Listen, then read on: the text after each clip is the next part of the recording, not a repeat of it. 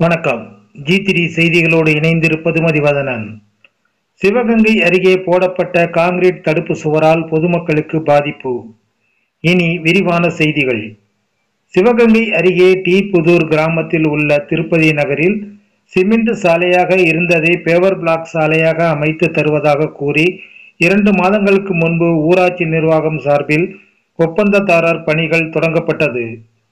முதற்கட்டமாக சாலையில் இருபுறமும் ஒரு அடி உயரத்திற்கு காங்கிரீட் தடுப்பு சுவர்கள் எழுப்பியதோடு சென்று விட்டதால் தற்போது தொடர் மழையால் சாலையின் நடுவே மழைநீர் தேங்கி துர்நாற்றம் வீசுவதுடன் கொசுக்கள் உற்பத்தியாகும் இடமாகவும் மாறியுள்ளது.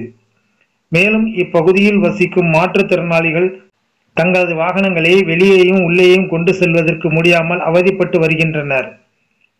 இது குறித்து ஊராட்சி மன்ற தலைவரிடம் அதிகாரிகளிடமும் பலமுறை புகார் அளித்தும் இதுவரை சாலை பணியினை நிறைவு செய்து கொடுக்காமல் அலட்சியமாக இருந்து வருகின்றனர் என்று அப்பகுதியில் உள்ள மக்கள் குற்றம் சாட்டுகின்றனர்.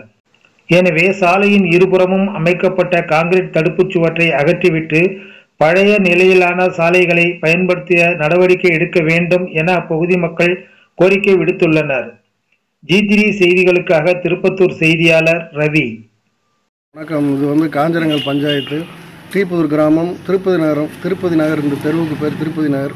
இதில் வந்து கிட்டத்தட்ட ஒரு இருபது வீடுக்கு மேலே இருக்குது தீபாவளிக்கு முன்னாலேயே ஆரம்பித்து இந்த ரோடு வந்து ஒரு மாதம் மூணு மாதம் ஆச்சு இந்த ரோடு ஆரம்பிச்சு. ஆரம்பிக்கிறதுக்கு முன்னாலே கேட்டேன் அந்த ரோடு போட்டால் ஒரு வாரத்தில் ரோடு போட்டுருவீங்களா அப்படின்னு. உடனே போட்டு தரோம்னு சொல்லிட்டு இது வரைக்கும் எந்த இதுவுமே போடலை. மூணு மாதம் ஆச்சு கடந்த மூணு மாதமா மழை பெஞ்சால் தண்ணி தேங்கி நிற்கிது கொசுக்கடி அதிகமாக இருக்குது குழந்தைகள் ஸ்கூலுக்கு போகிற குழந்தைகள்லாம் தண்ணியில் தடுமாறி விழுகிறாங்க. பெரியவங்க வந்து ரெண்டு மூணு பேர் பெருமை பெரியவங்க நான் நைட்டில் தடுமாறி விழுந்து ஜிஹெச்சில் போய் அட்மிட் ஆகியிருக்காங்க. மாற்றுத்திறன மாற்றுத்திறனாளி நான் மூணு பேர் இருக்காங்க. அவங்களும் நடக்கவே முடியல போக முடியல வர முடியல ரொம்ப இடையூறாக இருக்குது ரொம்ப எல்லாருக்குமே ரொம்ப சிரமமாக இருக்குது இது வரைக்கும் யூனியன் சேர்மன் வந்து மஞ்சள பாலச்சந்திர அவங்ககிட்டையும் சொல்லியாச்சு. அவங்களும் இந்த ஒரு தீபாவளி முடிஞ்சோடனே போட்டு தரோம்னாங்க. இது வரைக்கும் போடலை. அவங்க வந்து அந்த உமைய கண்ணன் அவர் தான் வந்து இந்த ரோடு கான்ட்ராக்டர் அவர்கிட்டே முதல்ல வந்து சொல்லியிருக்கு. பண்டு இருந்தால் போடுங்க இல்லைன்னா போட வேணாம் அப்படின்னு. போட்டு தரேன்னு சொல்லி அங்கேருந்து காங்கிரீட் மட்டும் போட்டு வச்சுட்டு இது வரைக்கும் வரவே இல்லை. வராத இருக்கனால எங்களுக்கு டூ வீலர் போக முடியல வர முடியல. கார் இருக்கவங்க கார் எடுக்கவே முடியல. கார்லாம் அங்கே வெளியில் அங்கங்கே நிப்பாட்டியிருக்காங்க ரொம்ப சிரமமாக இருக்குது பிள்ளைகள் வந்து குழந்தைக்கு ஸ்கூலுக்கு போகிறது ரொம்ப சிரமமாக இருக்குது எல்லாருமே ரொம்ப கொசுக்கடியிலேருந்து ரொம்ப சிரமமாக இருக்குது இதுக்கு வந்து எந்த நடவடிக்கை எடுக்க மாட்டாங்க கலெக்டர் முதல்ல மனு கொடுத்தாச்சு. பிடபிள்யூடி ஆஃபீஸ்லேயும் மனு கொடுத்தாச்சு. இங்கே கிராமத்துலேருந்து இந்த வார்டிலேருந்து எழுதி எல்லாருமே கையெழுத்து போட்டு கொடுத்துருக்கான்.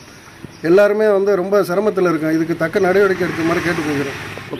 சிவகங்கை மாவட்டம் டி புதூர் சிவகங்கை பக்கத்தில் இருக்க டி புதூரில் திருப்பதி நகர் இந்த ஏரியா இதில் இந்த சாலை வசதி ஏற்படுத்தி தரேன்னு சொல்லிட்டு நல்லா இருந்த சாலையை இந்த மாதிரி நிலைமைக்கு உருவாக்கியிருக்காங்க.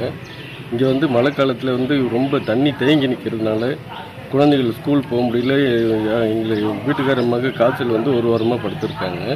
அது போக என் பையன் வந்து மாற்றுத்திறனாளியாக இருக்கார். அவர் வந்து அவசரத்துக்கு ஆம்புலன்ஸில் கூட்டு போனாலும் ஆம்புலன்ஸோ இல்லை காரோ எடுக்க முடியாத அளவுக்கு இந்த பாதையை வந்து அடைச்சி போட்டிருக்காங்க.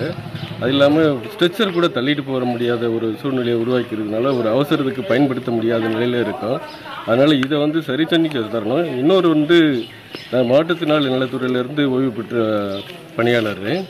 அதில் ஒரு சட்டம் இருக்குது மாற்றுத்திறனாளிகள் இருக்கிற பகுதிக்கு அரசு நலத்திட்டங்களில் நாலு சதவீதம் முன்னுரிமை கொடுத்து அந்த பணியை செய்யணும்னு சொல்லிட்டு அரசத்தில் சட்டம் இருக்குது மாற்றுத்திறனாளிகள் உரிமை சட்டம் ரெண்டாயிரத்தி பதினாறின் படி மாற்றுத்திறனாளிகள் இந்த பகுதியில் குடியிருந்தால் அவங்களுக்கு நாலு சதவீதம் மொத்த திட்டத்தில் நாலு சதவீதத்தை ஒதுக்கி சிறப்பு கவனம் செலுத்தி செயல்படுத்தணும்னு இருக்கு.